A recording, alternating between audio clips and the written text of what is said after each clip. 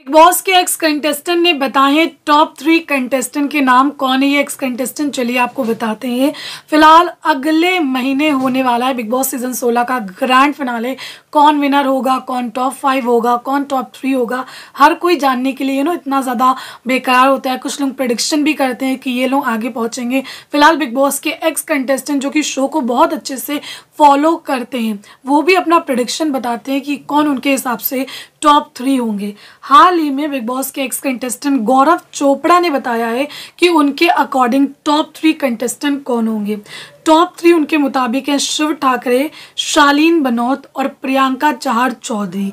जी हाँ उन्होंने साफ़ तौर पे मेंशन किया है the three finalist according to me Shiv, Shaleen, Priyanka Chahar Choudhary.